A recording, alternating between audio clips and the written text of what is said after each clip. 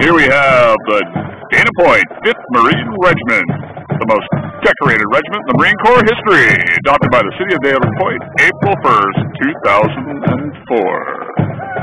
Let's listen, shall we?